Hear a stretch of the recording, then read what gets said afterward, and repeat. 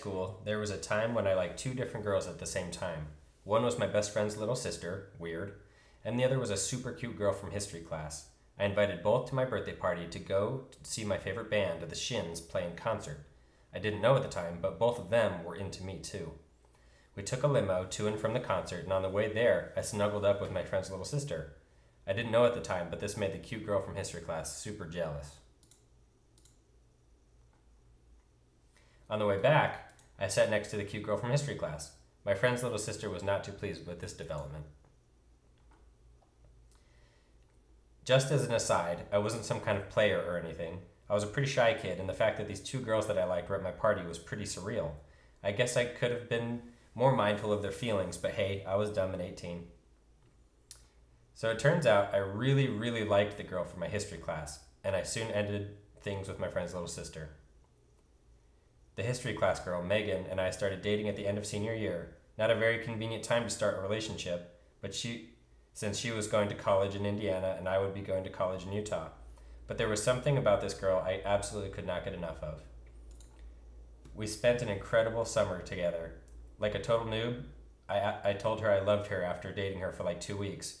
She didn't know what to think at first and kind of laughed it off. But before we parted ways and went to our separate universities, she reciprocated the sentiment.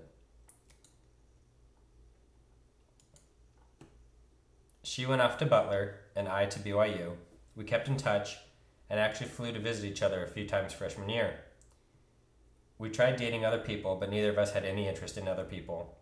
We decided to make the long distance thing work. Keeping a relationship going over Skype was tough, eh, but it was nothing compared to what was coming next. Following a lifelong dream, I left on a two year adventure as a Mormon missionary to Mexico City. I spent my time serving people and helping them change their lives. Part of the program was that I was to dedicate myself 100% to the work. Contact with family and with Megan was limited to one email per week and two phone calls a year on Christmas and Mother's Day.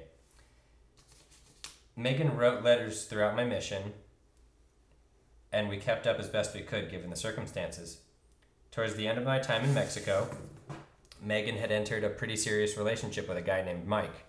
But the moment I saw Megan, we rushed into each other's arms and kissed and wept.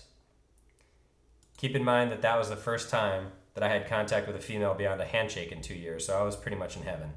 Megan broke things off with Mike the next day. Things were looking up, but it wasn't smooth sailing just yet. Megan had one more year before she graduated from Butler. We were, bo- we were back to Skype and the occasional short visit.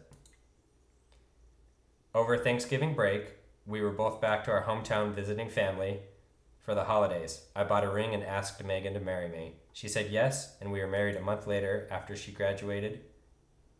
After she graduated, we got married in Washington, D.C. We had a mariachi band at our rehearsal dinner. It was amazing. That day was the beginning of the rest of my life. Megan and I are coming up on our sixth year of marriage, and I could not be happier how, with how things have turned out. Sometimes you just gotta trust your gut and fight for what you want in life. It wasn't easy, but I can say that it was 100% worth it.